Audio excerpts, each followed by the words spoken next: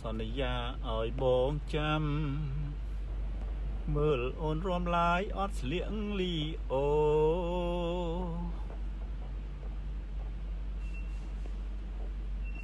កាលសែនឈឺបងខំអូស្រាប់តែត្រដខំរស់ទៀតអាយ៉ង អូទុំរំតែបានមើលអូនរំចាស់យ៉ាបងមិនមើលទេណាឆាប់រំទៅពើជីវ៉ាចាំដល់ណាបងអងវអូនស្រី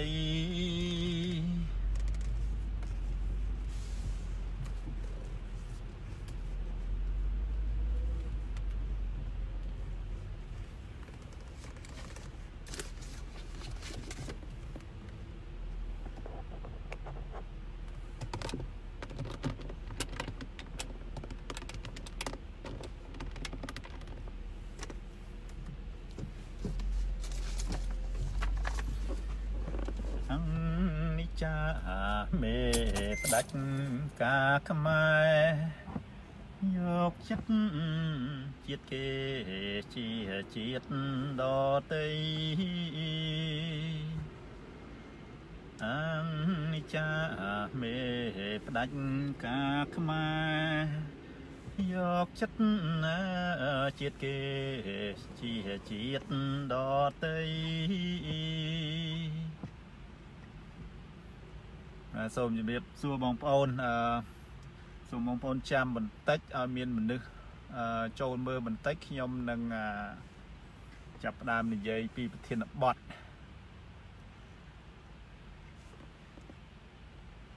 យកដីខ្មែរទៅសង់ផ្ទះថ្មីថ្មីឲ្យយួនស្រុកីនៅស្រុក រលៀបអ៊ីឯខ្មែរវិញរងទុកវេទនីបាទសូមក្រាបថ្វាយបង្គំព្រះថេរានុថេរៈគ្រប់ព្រះអង្គជាទីសក្ការៈប្រកោណាម្ចាស់ក្សត្រីព្រះអង្គម្ចាស់អ្នកមនាងសម្ដេចឯកឧត្តមលោកជំទាវលោកលោកស្រី និងអ្នកនាងកញ្ញាជាទីស្រឡាញ់ដោយស្មោះអស់ពីដួងចិត្ត ខ្ញុំបកណាខ្ញុំហេងសង្គ្រាមសូមពំនាំធានបត់3តូចតូចដើម្បីមកសំណេះសំណាលជាមួយបងប្អូនហើយជំរាបសួរបងប្អូនទាំងអស់គ្នាដែលបានចូលមកមុនគេជំរាបសួរសុភាពមានជ័យជំរាបសួរបេះដូងផ្កាព្រៃកញ្ញាបេះដូងផ្កាព្រៃអឺជំរាបសួរអឺអីចេះមើលមើលអសរជីវិត អ្នកក្រមានតែប្រឹងបាទជំរាបសួរវរៈមីជំរាបសួរថាច់វ៉ាណាជំរាបសួរបងប្អូនទាំងអស់គ្នាហើយឥឡូវមានម៉ាអ្នកនិយាយប៉ុណ្ណឹងដោយសារតែឥឡូវ Facebook ឥឡូវមិនសូវមានអ្នកហ៊ានចូលមើលទេពេលដែលយើងនិយាយនយោបាយក្តៅក្តៅដោយសារមានការគម្រាមកំហែងជំរាបសួរកញ្ញាលីសានូ How are you កញ្ញាលីសាបាទជំរាបសួរបងអូនអ្នកចម្រៀងជាតិនិយមអឺសំឡេងផ្អែមងុំបរោះរំដំជាប់ចិត្តតារាយុបងអូនជាងចម្រៀងបរោះណាតារាយុជា idol របស់ខ្ញុំខ្ញុំចូលចិត្តសំឡេងរបស់បងអូនតារាយុហើយបាទជាបឋមគឺប្រធានបទទី1គឺអឺ បច្ចុប្បន្នភាពជំងឺកូវីដ -19 ហើយប្រធានបទទី2គឺស្ដីពីការជួបជុំនៅជួបជុំបៃតាប្រជាធិបតេយ្យនៃកម្ពុជាយើង ហើយប្រធានបទទី3គឺថាអឺដែលមានចំណងជើងថាឆ្កែ3ប្រភេទបាទជំរាបសួរបងមុកបូព៌ាសុខសប្បាយទេបង អឺបាទសុខសប្បាយកញ្ញាលីសានូបាទអញ្ចឹងគ្នាតិចក្តីទួចក្តីអឺแชร์មួយแชร์មួយបងប្អូនហើយខ្ញុំនឹងជម្រាបជូនប្រធានបទទី1តែម្ដងទៅប្រធានបទទី1គឺបច្ចុប្បន្នភាពជំងឺកូវីដ -19 អឺជំងឺកូវីដ -19 បច្ចុប្បន្នគឺនៅលើពិភពលោកមានចំនួន2 218លាន7សែន7ម៉ឺន 899ករណីដែលរកឃើញថាជំងឺមានកើតជំងឺកូវីដ -19 ហើយអ្នកដែលស្លាប់ដោយសារជំងឺកូវីដ -19 លើលើពិភពលោកគេរកឃើញគឺចំនួន4លាន5សែន32382នាក់ត្រូវបានស្លាប់ដោយជំងឺកូវីដ -19 នៅជំវិញពិភពលោកហើយអ្នកដែលជាពីជំងឺកូវីដ -19 ចំនួន195លាន3សែន11000 701ករណីដែល បានជាពីជំងឺកូវីដ -19 ហើយរីឯករណីនៅសហរដ្ឋអាមេរិកវិញ អ្នកដែលរកឃើញការជំងឺកូវីដ -19 ចំនួន40លានអឺ78681ករណីហើយអ្នកដែលស្លាប់ដោយសារជំងឺកូវីដ -19 ចំនួន6 57863នាក់រីឯអ្នកស្លាប់អ្នកដែលជាពីជំងឺកូវីដ -19 គឺចំនួន31លាន7043នាក់រីឯករណីនៅប្រទេសកម្ពុជាយើងវិញអ្នកដែលរកឃើញឆ្លងជំងឺ Coronavirus ចំនួន93055ករណីអ្នកដែលស្លាប់ដោយសារជំងឺ Coronavirus គឺចំនួន1903នាក់អ្នកដែលជាសះស្បើយពីជំងឺ Coronavirus ចំនួន8សែន8786នាក់ហើយប្រធានបទទី2គឺជួបបៃតាប្រជាធិបតេយ្យនៃកម្ពុជាយើង គឺជាសេចក្តីប្រកាសអឺនៅទីក្រុង Long Beach រដ្ឋកាលីហ្វ័រញ៉ាខាងត្បូង គឺទីក្រុង Long Beach នៅថ្ងៃទី12ខែ9អឺឆ្នាំ2026នេះគឺ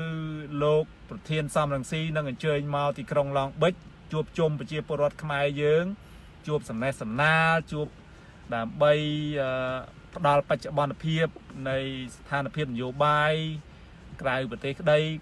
ក្នុងប្រទេសក្តីហើយនឹងមានការជួបជុំនៅ ថ្ងៃទី12ខែ9 September 12 2021ថ្ងៃទី12ខែ9វេលាម៉ោង5ល្ងាចទៅដល់ម៉ោងយប់12យប់កណ្ដាលអាត្រៀតនៅភោជនីយដ្ឋានហាក់ហៀងដែលមានអាស័យដ្ឋាន2041 East Anaheim Street Long Beach California and zip code 90804ហើយ បាទបងប្អូន ជាពិសេសសូមអញ្ជើញនេះចាត់ទុកថាជាសេចក្តីអញ្ជើញបងប្អូនចូលរួមទាំងអស់គ្នាដើម្បីជួបបៃតាប្រជាធិបតេយ្យនៃកម្ពុជាយើង គឺឯកឧត្តមសំរងស៊ីហើយការជួបជុំនៅភោជនីយដ្ឋានហាក់ហៀងសារជាថ្មីម្ដងទៀតគឺថ្ងៃ12ខែ9 2021វេលាម៉ោង5ទៅដល់កណ្ដាលអាត្រៀតម៉ោង12កណ្ដាលអាត្រៀត ហើយដែលមានអាស័យដ្ឋាន2041 East Anaheim Street Long Beach California zip code 90804ហើយតម្លៃនៃការជួបជុំនោះអឺដើម្បីចូលបាន គឺម្នាក់ចំនួនត្រូវបង់ចំនួន55ដុល្លារបងមុនបងប្អូនហើយ55ដុល្លារហ្នឹងមានមហូបរហូតទៅដល់8មុខ បាទមហូបឈ្ងុយឆ្ងាញ់ពិសេសពិសារហូតដល់8មុខហើយតម្លៃចូលគឺ55ដុល្លារម្នាក់ហើយបើសិនជាបងប្អូនមានចំណាប់អារម្មណ៍ហើយសូមអញ្ជើញបងប្អូនទាំងអស់គ្នាសូមទៅទាំងអស់គ្នាឲ្យបានកកកដើម្បីគ្រប់គ្រងនិងលើកទឹកចិត្តបៃតាលទ្ធិប្រជាធិបតេយ្យ the father of democracy in Cambodia His Excellency Sam Rangsi Sam Rangsi បាទ so uh, please uh, join please join uh, everybody. Go to join us and meet our father of democracy in Cambodia on September 12, 2021 at uh, Ha Hieng Restaurant. And the address is 2041 East Anaheim Street, City of Long Beach, California zip code 90804 and for further information please contact Mr. Borarot at 619 uh, 654 4712 once again for further information for the ticket and anything else please contact Mr. Borarot phone number is 619 654 4712តែ បើសិនជាបងប្អូនចង់ជួបអឺចង់បានព័ត៌មានពឹស្ដាព័ត៌មានបន្ថែមចង់ទិញសម្បត្តិឬយ៉ាងណាយ៉ាងណីសូមតាក់ទងលោកបូរ៉ារតដែលមានលេខទូរស័ព្ទ619 654 4712បាទនេះជាសេចក្តីអញ្ជើញសូមគោរពអញ្ជើញបងប្អូនចូលរួមទាំងអស់គ្នាដើម្បីសម្ដែងការគ្រប់គ្រងបីដាលទ្ធិប្រជាធិបតេយ្យមកពីស្រុកបារាំងគឺលោកប្រធានសំរងស៊ី ដែលនៅមកជួបជុំសំណេះសំណាលជាមួយបងប្អូន ដើម្បីធ្វើបច្ចុប្បន្នភាពពីនយោបាយដើម្បីផ្ដល់ជាអនុសាសន៍ជាយុទ្ធសាស្ត្រសម្រាប់គណៈបកសង្គ្រោះជាតិដើម្បីឈានទៅការផ្លាស់ប្ដូរដើម្បីឈានទៅជោគជ័យឆ្នាំ2021យើងនេះអញ្ចឹងសូមបងប្អូនអញ្ជើញចូលរួមទាំងអស់គ្នា ហើយឥឡូវចូលដល់ប្រធានបទទី3ដែលជាប្រធានបទចុងក្រោយខ្ញុំសូមបើកឡានបដ ாய் ទៅបើកឡានបដើនិយាយបដើគឺអឺគេហៅថាឆ្កែ3ប្រភេទបងប្អូនដឹងហើយថាធម្មតាមិនកើតមកជាមនុស្សត្រូវមានសំបញ្ញៈត្រូវមានមនសិការត្រូវមានឧត្តមកតេត្រូវមានបេះដូង ស្រឡាញ់ជាតិស្រឡាញ់មេត្តាស្រឡាញ់មាតុភូមិស្រឡាញ់មេត្តាទី1គឺជាមាតុភូមិកម្ពុជារបស់យើងស្រឡាញ់មេត្តាទី2ដែលជាអឺទឹកដីដែលយើងមករស់នៅ គឺសហរដ្ឋអាមេរិកឬក៏អូស្ត្រាលីឬក៏បារាំងឬក៏ ប្រទេសណាក៏ដោយដែលបងប្អូនទៅរស់នៅហើយមានសេចក្តីសុខហ្នឹងគឺជាមេត្តាទី2រីឯមេត្តាទី1គឺគឺមាតុភូមិដែលផ្ដល់កំណើតឲ្យយើង គឺប្រទេសកម្ពុជាយើង ហើយឆ្កែ3ប្រភេទនេះខ្ញុំសំដៅលើតែបងប្អូនប្រជាពលរដ្ឋខ្មែរដែលរស់នៅឯនាយសមុទ្របាទអឺគឺខ្ញុំ អ្វីដែលខ្ញុំហៅថាឆ្កែគឺដោយសារអ្នកនោះគ្មានមនសិការគ្មានឧត្តមកតេមិនគិតពី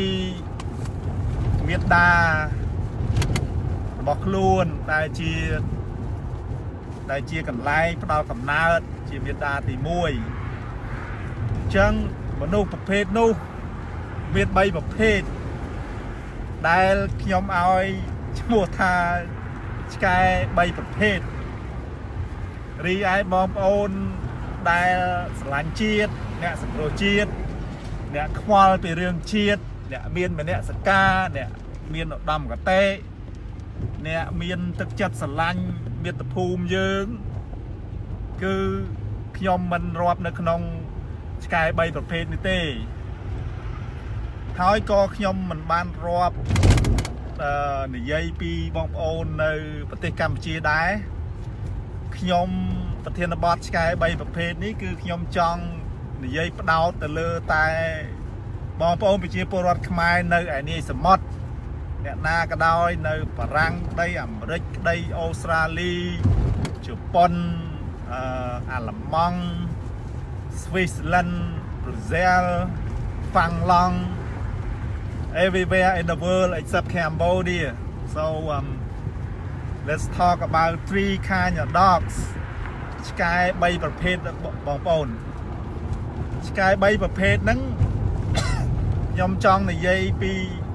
មនុស្សដែលគ្មានមនសិការមនុស្សដែលគ្មានមនសិការវាស្មើនឹងសត្វហើយដល់សត្វនោះទៀតខ្ញុំចាត់ទុកថា ខ្ញុំអាចបងប្អូនអាចហៅជាស្វាអាចហៅជាទីងមងអាចហៅជាសត្វអីក៏បានដែរសត្វពង្រូសត្វកណ្ដេវិចសត្វខ្លាសត្វសន្សាយសាច់តបងប្អូនទេប៉ុន្តែក្នុងប្រធានបទរបស់ខ្ញុំនេះខ្ញុំចាត់ទុកថាមនុស្សដែលអត់មនសិការមនុស្សអត់ឧត្តមកតេមនុស្សក្បត់ជាតិមនុស្សស្រឡាញ់បនស័កមនុស្សគ្រប់គ្រងមនុស្សចង្រៃមនុស្សគ្រប់គ្រងជនអក្រិត មនុស្សគ្រប់គ្រងជនផ្ដាច់ការថាជាសត្វហើយសត្វនោះទៀតសោតគឺជាសត្វឆ្កែឆ្កែ3ប្រភេទឆ្កែ3ប្រភេទហ្នឹងមានប្រភេទអីខ្លះបងប្អូនឆ្កែ3ប្រភេទហ្នឹងគឺប្រភេទទី1គេហៅថាឆ្កែអាំងផេះបងប្អូនធ្លាប់លើហើយឆ្កែអាំងផេះឆ្កែអាំងផេះហ្នឹងខ្ញុំចង់និយាយថាចំពោះឆ្កែដែលខ្ជិលឆ្កែដែល មិនខ្វល់រឿងអីយ៉ាងណាមិញមនុស្សអ្នកដែលបងប្អូននៅឯនាយសមុទ្រតែមកបានសុកបានស្រួលហើយគឺមិនដែលខ្វល់ពីអ្នកណាមិនដែលខ្វល់មិនដែលឈឺក្បាលមិនដែលកើតទុក្ខមិនដែលព្រួយពីអ្នកណាស្លាប់ក៏ស្លាប់ទៅឲ្យតែបានសុខខ្លួនឯងគឺ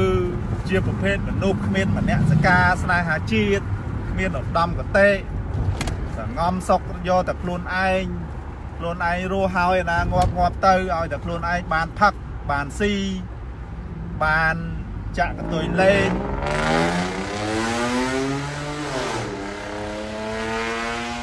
បានលេងលបែងបានដើរកំសាន្តគ្រប់ទិសទីគឺឆ្កែអាំងផេះហ្នឹង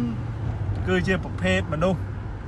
ដែលប្រៀបបាននឹងសត្វឆ្កែដែលមិនខ្វល់អីទេឲ្យតែបានស៊ីបានចុកបានរស់បានសំណុកបានស្រួលសង្ងំតែខ្លួនឯងទៅមិនបាច់ខ្វល់ពីសង្គមយើង សង្គមអយុត្តិធម៌សង្គមយើងបងប្អូនយើងស្គាល់តែទឹកភ្នែកមេត្តាភូមិយើងមេត្តាទី1របស់យើងស្ទើរតែបាត់បង់ទៅ ជនបរទេសឆ្លៀនពៀនគឺមនុស្សប្រភេទឆ្កែអាំងផេះហ្នឹងគឺមិនខ្វល់គិតតែផឹកហើយនឹងស៊ីគិតតែស្រីញីគិតតែលបែងគិតតែចាក់អាប៉ោងគិតតែខ្លាឃ្លោកគិតតែស្រាឆ្ងាញ់ស្រីស្អាតគិតតែរឿងអបាយមុខភ្លើតភ្លើនអឺភ្លេចភ្លាំងគឺមិនខ្វល់ឲ្យតែអាត្មាឯងរស់ គឺជាប្រភេទមនុស្សអាត្មានិយមបំផុតបងប្អូននឹងហើយគេហៅថាប្រភេទមនុស្សអឺឆ្កែអាំងផេះគឺខ្ជិលចោសមិនមិនគិតមិនខ្វល់អឺសោកស្ដាយចំពោះការបាត់បង់ទឹកដី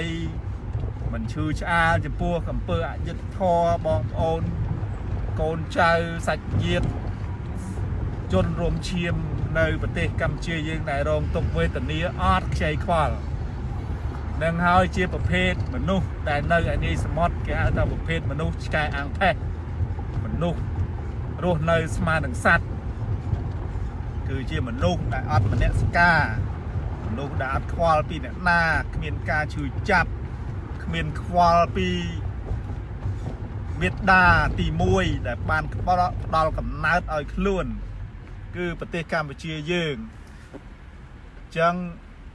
នឹងហើយដែលគេហៅដែលខ្ញុំឲ្យឈ្មោះថាមនុស្សប្រភេទមនុស្សគេហៅថាប្រភេទមនុស្សឆ្កែអាំងផេះហើយរីឯប្រភេទមនុស្សទី2គេហៅប្រភេទមនុស្សឆ្កែលូប្រភេទមនុស្សឆ្កែលូហ្នឹងគឺជាមនុស្សដែលនៅឯរាយសមុទ្រដែរ តែចេះតែព្រុសចេះតែលូគឺឃើញខ្មោចក៏ព្រុសឃើញមនុស្សក៏ព្រុសឃើញចៅក៏ព្រុសឃើញម្ចាស់ក៏ព្រុសដឹងហើយគេហៅថាមនុស្សប្រភេទឆ្កែលូ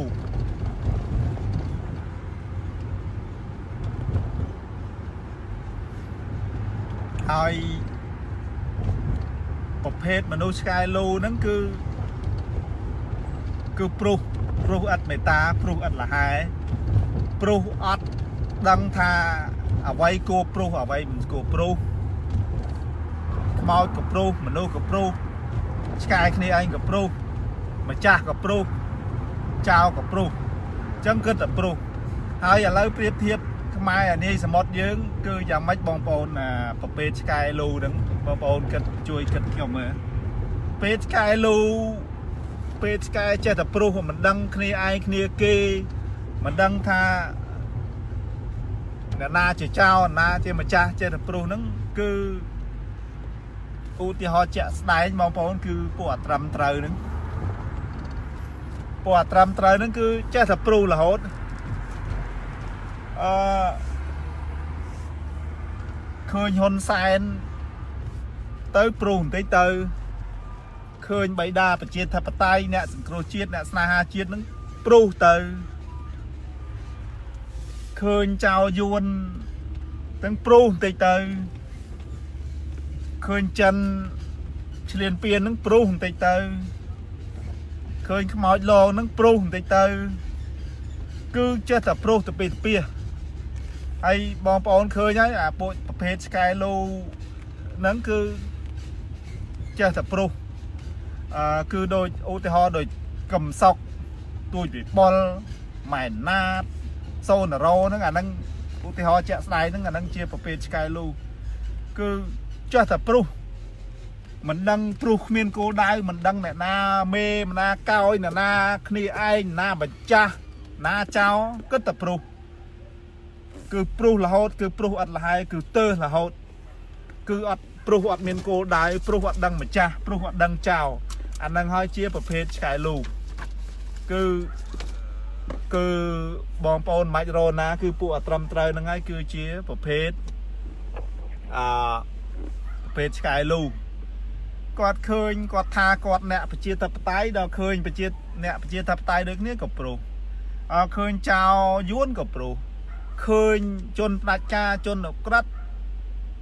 ជនកុម្មុយនីសក៏ប្រុស ចឹងហើយដែលខ្ញុំហៅថាពួកអត្រឹមត្រូវហ្នឹងគឺពួកប្រភេទឆ្កែលូបាទសូមបងប្អូនចាំបន្តិចខ្ញុំទៅយកអីវ៉ាន់បន្តិច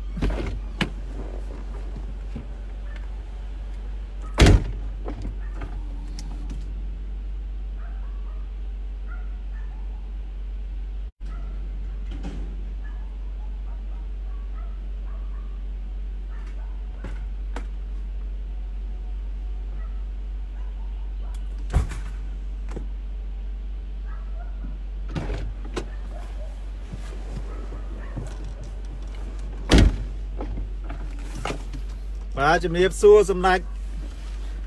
ពញាចក្រៃបាសីចាំក្រុងបាទអឺដោយខ្ញុំនិយាយអញ្ចឹងឆ្កែ3ប្រភេទគឺឆ្កែទី1គឺឆ្កែឆ្កែអាំងផេះគឺជាប្រភេទពួកឆ្កែពួកដែលមិនគិតខ្វល់ខ្វាយពីរឿងជាតិគិតតែរឿងស្រីញីផាក់ស៊ីជលកែវផុស រូបស្អាតស្អាតផុសដបស្រាប្រក់ផុសមហូបឆ្ងាញ់អាណាស្លាប់ក៏ស្លាប់ទៅអាណាកើតកូវីដ -19 ក៏កើតទៅ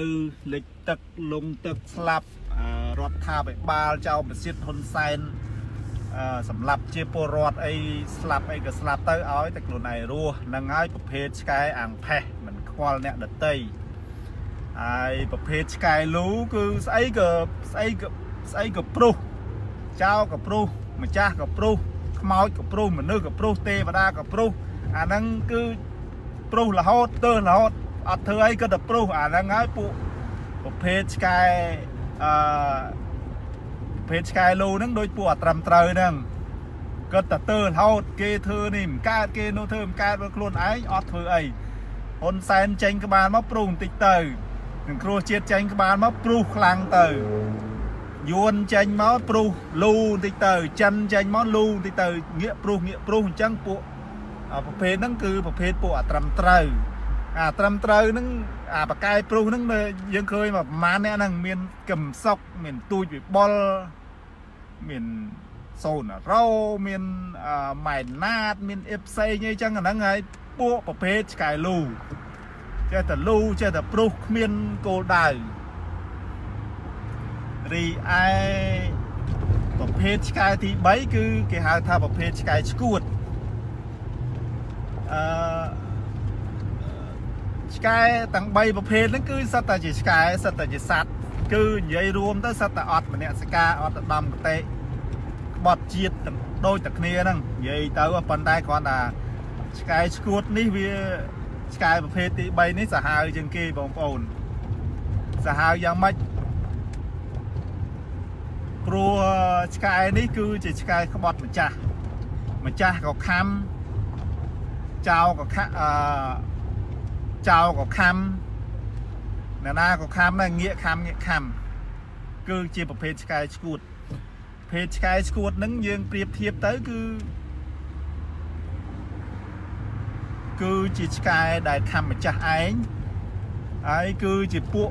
បើយើងនិយាយឲ្យចំទៅ គឺជាពួកដែលនៅឯនាយសមុទ្រដូចអ្នកឡងបិចអីចឹងឧទាហរណ៍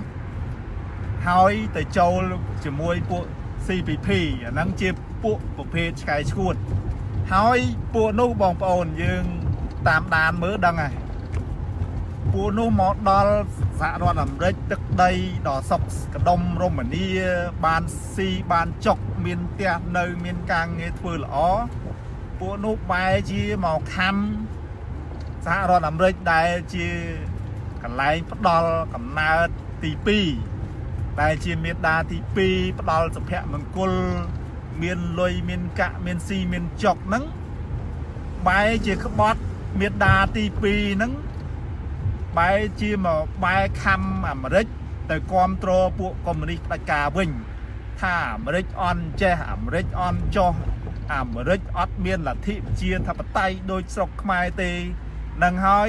ពួកនឹងគឺជាប្រភេទដែលខ្មែរ CPP ដែលចូលរួម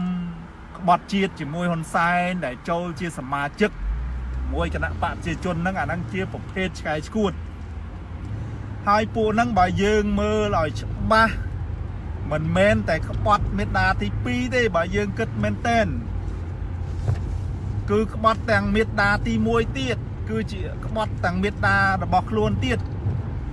យ៉ាងម៉េចបានហៅថាក្បត់មេដារបស់ខ្លួនមិនមែនបានន័យថាពួកនឹងចូលជាមួយហ៊ុនសែននៅស្រុកខ្មែរហ្នឹងបានន័យថាស្មោះជាមួយមេដាទី1ទេអត់ទេ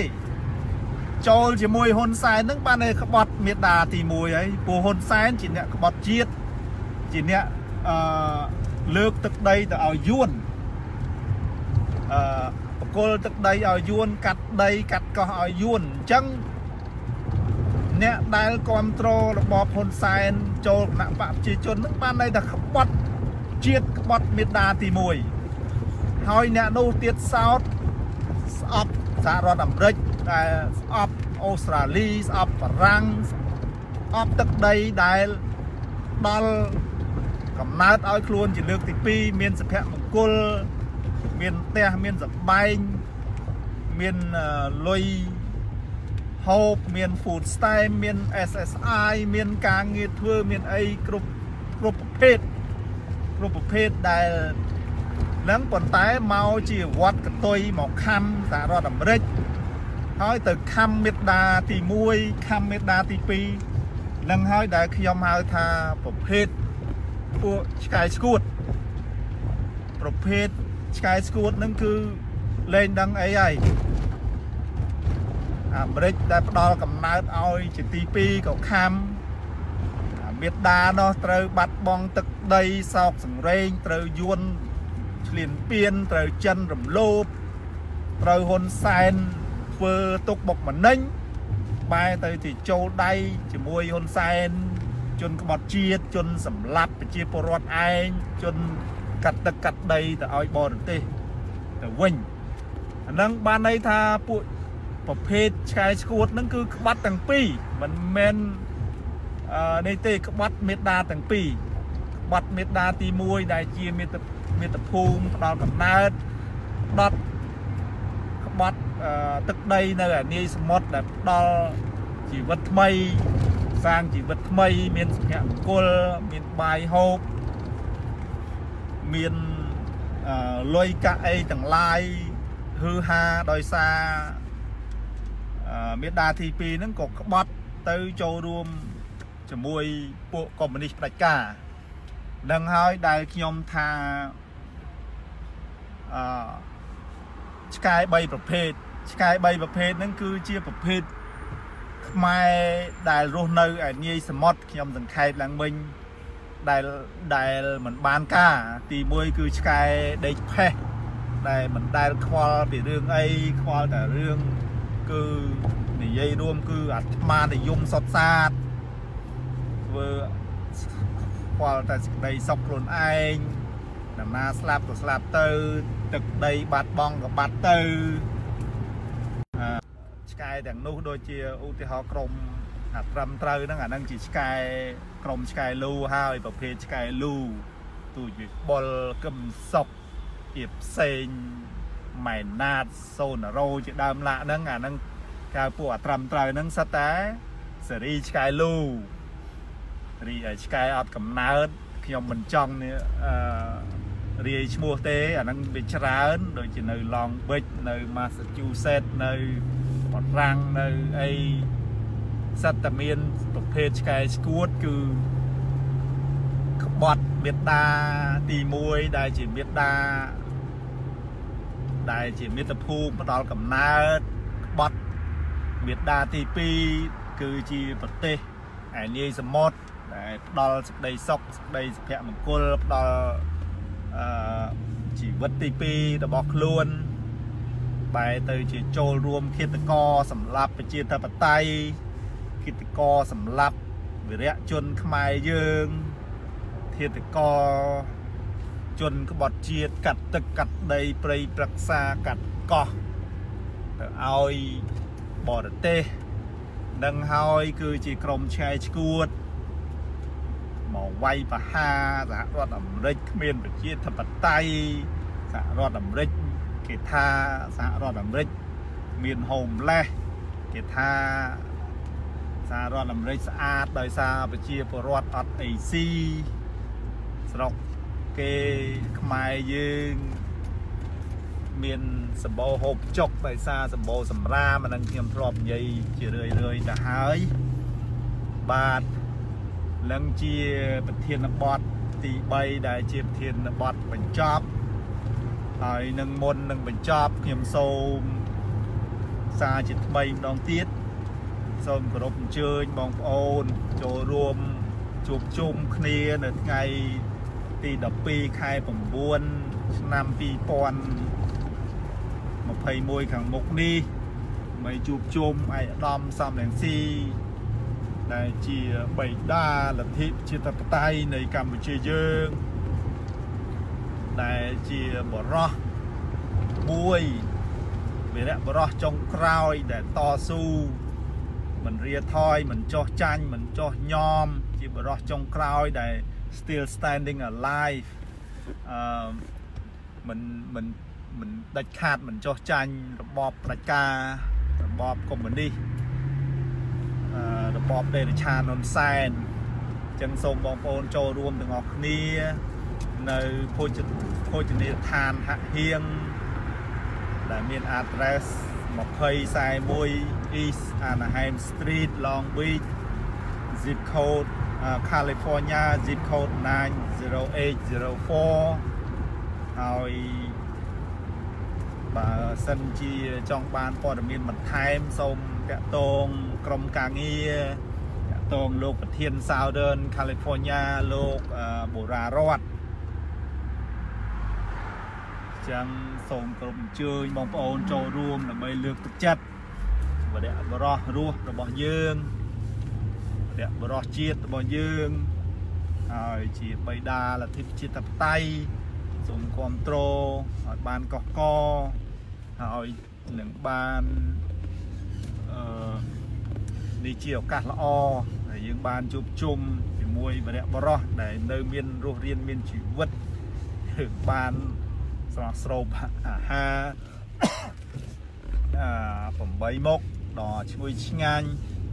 ហើយយុទ្ធសាស្ត្រឬក៏បច្ចុប្បន្នភាពរបស់ឯកឧត្តមប្រធានស្ដីទីគណៈបកសង្គ្រោះជាតិសំរងស៊ីអញ្ជើញសូមបងប្អូនចូលរួមទាំងអស់គ្នាឲ្យបានកកក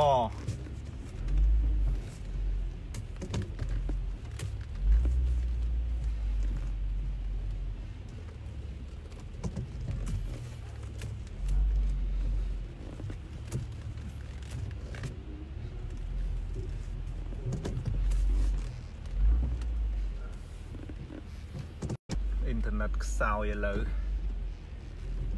បានអញ្ចឹងខ្ញុំអឺសូមបញ្ចប់តែប៉ុណ្្នឹងចោះហើយជាចុងក្រោយសូមបួងសួងដល់អស់សកទេវរាជស្ដេចទេវបុត្រនិងទេពធីតាដែលមានមហិទ្ធិឫទ្ធិចេស្តាទាំងទាំងអស់តាមជួយថែរក្សាប្រជាពលរដ្ឋខ្មែរយើងកុំបីអាខាន សូមអរព្រគុណសូមអរគុណនិងសូមជម្រាបលា